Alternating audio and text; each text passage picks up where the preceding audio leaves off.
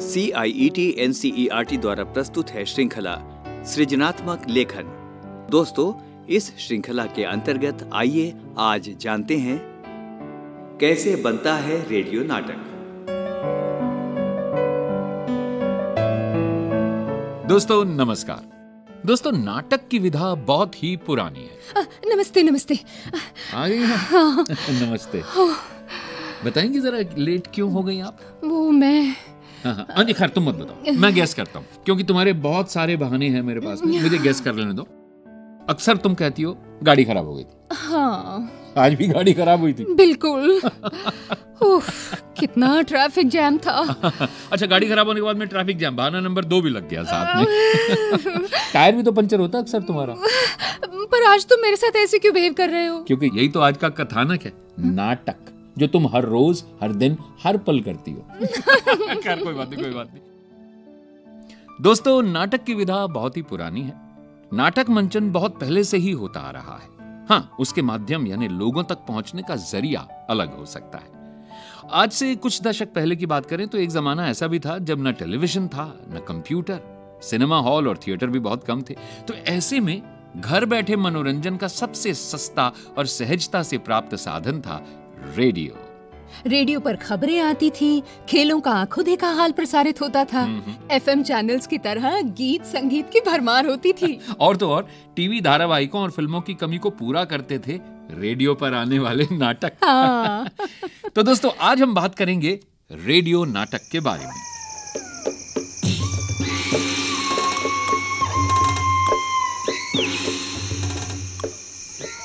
श्याम मुझे बड़ा डर लग रहा है। कितना भयानक जंगल है। डर तो मुझे भी लग रहा है राम। इतनी रात हो गई घर में अम्मा बाबू सब परेशान होंगे। ये सब इस नालायक मोहन की वजह से हुआ है। जंगल चलते मुझे एक छोटा सा रास्ता मालूम है।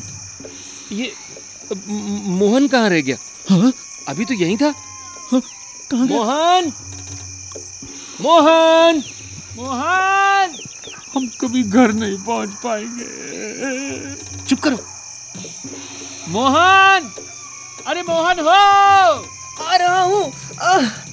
पैर में कांटा चुभ गया था।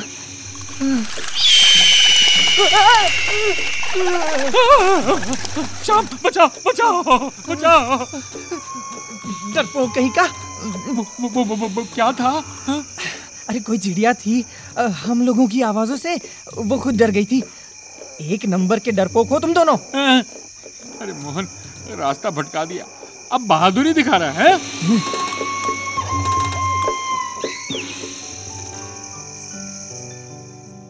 अरे वाह ये तो किसी फ़िल्म या सीरियल जैसा ही लग रहा था। हाँ यही तो खासियत है रेडियो नाटक की। और सबसे अच्छी बात तो ये थी अभिनय कि इसमें दृश्य ना होते हुए भी मुझे ऐसा लग रहा था जैसे सब मेरे सामने है। हाँ वाणी ये तो एकदम सही बात कही तुमने। बिल्कुल किसी फ़िल्म या सीरियल के जैसा ही है ये। पर ये रेडियो नाटक लिखा कैसे जाता है? बहुत ही रोचक सवाल पूछा तुमने। अब भाई जैसा कि तुमने भी इस अंश में सुना रेडियो नाटक में भी किसी सिनेमा या रंगमंच की तरह चरित्र होते हैं correct? हाँ अभी इस नाटक में थे ना अ, राम श्याम और मोहन। हम्म तो उन चरित्रों का आपसी संवाद होता है यानी बातचीत होती है। जैसे अभी मैं और तुम कर रहे हैं। हाँ। और इसी बातचीत के ज़रिए आगे बढ़ती है कहानी।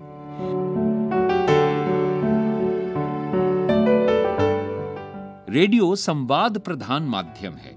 हम्म, इस बात का खास ध्यान रखा जाता है कि कौन किससे बात कर रहा है। इसलिए उस पात्र का नाम लेना ज़रूरी होता है खास तौर पर उस अंश में जहाँ दो से ज़्यादा पात्र हों। हाँ जैसे अभी वाले नाटक में थे राम श्याम मोहन आपस में एक दूसरे का नाम लेकर ही तो बात कर रहे थे। बिल्कुल सही कहा तुमने बिल्कुल सही कहा। किसी उदाहरण से समझें तो मान लो हमारा चरित्र पार्क में है हम्म और उसे बेंच पर बैठना है ठीक है। तो रेडियो के लिए उसका संवाद कैसा होगा? चलो तुम बताओ। ठीक है मैं बताती हूँ। कितनी गर्मी है आज। हो पार्क में चलूँ कुछ देर उस बेंच पर बैठ जाऊँ। हम्म, लेकिन बेंच पर बैठने की ध्वनि आवाज़ के ज़रिए ही तो रेडियो के नाटक में दिया जाता है वो मैं करके बताता हूँ। हम्म। इसी लाइन को मैं दोबारा बोलता हूँ। हाँ। कितनी गर्मी है आज। आह, हाँ पार्क में चलूँ और कुछ देर आह, इस बेंच पर आराम से बैठ जाऊँ। मतलब ये सिर्फ़ एक्शन ना होकर किसी संवाद का हिस्सा बनता है। जबकि किसी भी दृश्य माध्यम में ये सब तुम्हें बोलना नहीं पड़ता। बिल्कुल ठीक।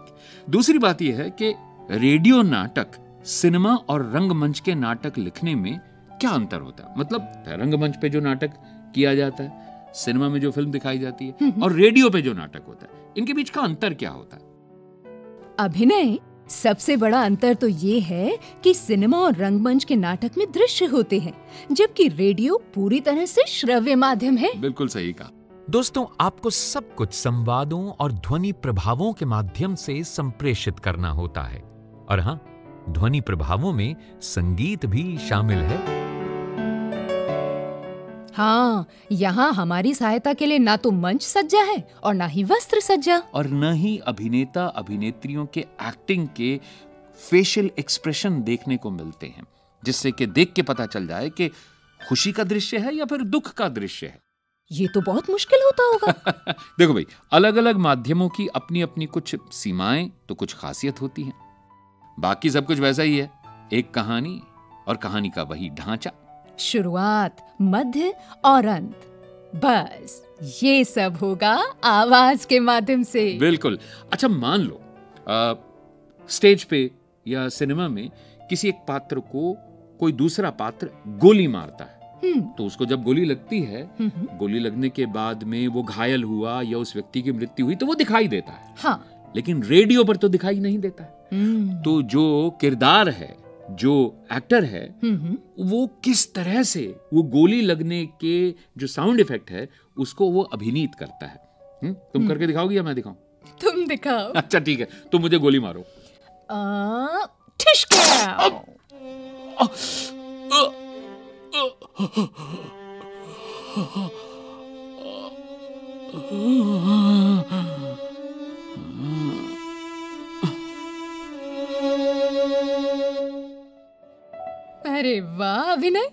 तो वाकई बड़ा अच्छा अभिनय किया। मतलब मैं वाकई अभिनय के माध्यम से ये प्रेषित कर पाया कि मैं मर गया? हाँ। जी। तो ये रेडियो की जो नाटक की जो विधा है इस विधा में एक्टर को यानी जो कलाकार है उसे पारंगत होना बहुत ज़रूरी है। अच्छा एक और इसमें एक हम उदाहरण अपने सुनने वालों के सामने प्रस्तुत करना चाहते हैं। आमतौर पे मान लो कि रंगमंच पे या सिनेमा में चाय पी जाती है। हाँ। है ना? तो एक कप प्लेट दिखाई देता है और पीने वाला उसे पीते हुए दिखाई देता है। बिल्कुल।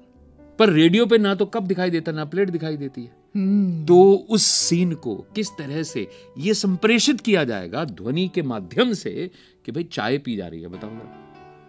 पी के बताओ।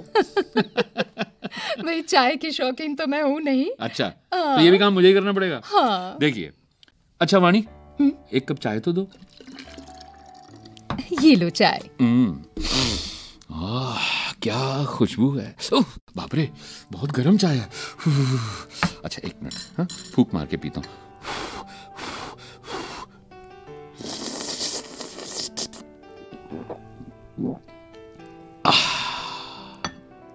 वाह! बिल्कुल ऐसा लगा कि तुम सामने बैठकर चाय पी रहे हो। पर अभिनय हम्म। अब ये भी तो यहाँ बताना ज़रूरी होगा कि कौन सी कहानी रेडियो के लिए है और कौन सी नहीं। हम्म, हम्म, हम्म, हम्म, हम्म। मतलब अगर हम बात करें कि रेडियो के लिए कौन सी कहानी अच्छी है तो वो कौन सी होगी है ना? ये तुमने बड़ी ही अच्छी बात पूछी है। देखो हमें ध्यान रखना चाहिए कि कहानी ऐसी ना हो जो पूरी तरह से एक्शन पर निर्भर हो। अच्छा मान लो अभिनय हम्म। कि कहानी का पूरा आधार पीछा करना हो। हम्म, अपराधी भाग रहा है हम्म। पुलिस उसका पीछा कर रही है। हम्म, अब इस सीन को हम फ़िल्म में तो बखूबी दिखा सकते हैं। लेकिन रेडियो पर कैसे दिखाएँगे? हाँ मुश्किल ज़रूर होते हैं लेकिन असंभव नहीं होते हैं। ज़रूरत होती है एक ऐसे कलाकार की जो कि अपने परिवेश को बहुत अच्छे से जिसने ऑब्ज़र्व किया हो। आसपास किस तरह की उसके पास में चीज़ें हैं जिनका वो इस्तेमाल कर सकता है? हाँ ये उतना खूबसूरत नहीं हो सकता है जितना कि एक फ़िल्म में होता है जिसमें कि शायद कोई पैंतीस मंजिल ऊपर से कूदता है तो वो दिखाई देता है पैंतीस मंजिल ऊपर से नीचे कूद रहा है। बिल्कुल। लेकिन यहाँ साउंड से वो इफ़ेक्ट क्रिएट किया जाता है। हम्म बिल्कुल। अभिनय तुमने ये तो बताया कि कौन सी अच्छी कहानी होनी चाहिए रेडियो के लिए। हम्म। लेकिन ये भी तो होना चाहिए कि रेडियो नाटक की अवधि कितनी हो? हम्म। देखो आमतौर पर रेडियो नाटक की अवधि पंद्रह मिनट से तीस मिनट होती है। पंद्रह मिनट से तीस मिनट। जी जी जी। हम्म। और इसके मूलभूत रूप से दो कारण होते हैं। वो क्या? पहला तो रेडियो क्योंकि एक श्रव्य माध्यम है मतलब ऑडियो का माध्यम है सुनाई देने वाला। नाटक या वार्ता जैसे कार्यक्रम को सुनने के लिए मनुष्य की एकाग्रता की अवधि जो है वो पंद्रह से तीस मिनट होती है इससे ज़्यादा नहीं होती। ओह और दूसरा सिनेमा या रंगमंच के नाटक के लिए दर्शक को अपने घरों से बाहर निकलकर किसी सार्वजनिक स्थान पर जाना होता हम्म, है। मतलब वो एक प्रयास करते हैं एक समूह में बैठकर नाटक को या फिर सिनेमा को देखते हैं। अंग्रेज़ी में इन्हें कहा जाता है कैप्टिव ऑडियंस यानी एक स्थान पर कैद किए गए दर्शक। और रेडियो या टीवी देखने के लिए उन्हें कहीं जाना नहीं पड़ता। वो आसानी से अपने घर में सुन या देख सकते हैं। घर पर बैठकर रेडियो सुनने वाला श्रोता मन उचटते ही किसी और स्टेशन के लिए सुए घुमा सकता है या उसका ध्यान कहीं और भी भटक सकता है है ना? ये लो अभी तुम्हारा ध्यान भटका। आ गया तुम्हारा फ़ोन। उठाओ उठाओ, उठाओ। इसीलिए हमें नाटक की अवधि छोटी ही रखनी चाहिए। अगर रेडियो नाटक की कहानी ही लंबी है तो बताओ ऐसे में क्या करना चाहिए?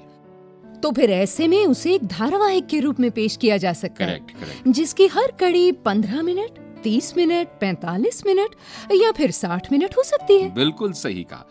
इसमें मैं एक बात और जोड़ना चाहूँगा। अगर रेडियो नाटक के श्रोता छोटे छोटे बच्चे हैं तो उनकी एकाग्रता की अवधि बहुत ही कम होती है।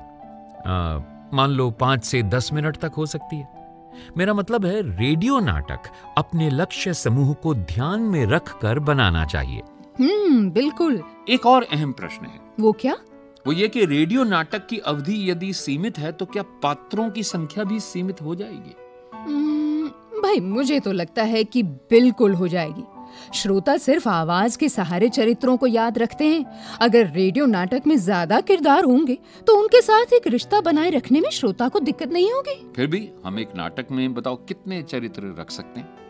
अगर संख्या के हिसाब से बात करनी है तो मान लो पंद्रह मिनट की अवधि के लिए पात्रों की संख्या पाँच या छह हो सकती है। और 30 से 40 मिनट की अवधि के लिए आठ से 12 पात्र? अगर एक घंटे या उससे अधिक की अवधि का रेडियो नाटक लिखना पड़े तो? तो उसमें पंद्रह से बीस भूमिकाएँ गढ़ी जा सकती हैं। हम्म, ये तो रेडियो नाटक लिखने वाले पर निर्भर करता है कि उसे कितने पात्र चाहिए। मतलब कहने का ये हुआ कि ये संख्याएँ कम या ज़्यादा की जा सकती हैं। बिल्कुल। ये सिर्फ़ एक अंदाज़ा मात्र है और हाँ इन संख्याओं में छोटे मोटे किरदारों की गिनती नहीं की जाती। मतलब जैसे फेरी वाले की आवाज़ आज चाय ले लो। चाय चाय चाय। या फिर पोस्टमैन का संवाद। पोस्टमैन पोस्टमैन या फिर न्यायालय में जज का सिर्फ़ ऑर्डर ऑर्डर कहना बिल्कुल सही समझा तुमने। तो श्रोताओ अभी आपने सुना रेडियो नाटक के लिए कहानी सिर्फ़ घटना प्रधान ना हो उसकी अवधि बहुत ज़्यादा ना हो और पात्रों की संख्या सीमित हो तो ज़्यादा अच्छा है। तो अब देर किस बात की? आप भी लिख ही डालिए। कोई अच्छा सा रेडियो नाटक। चलिए आपने कहा है तो शुरुआत कर देते हैं।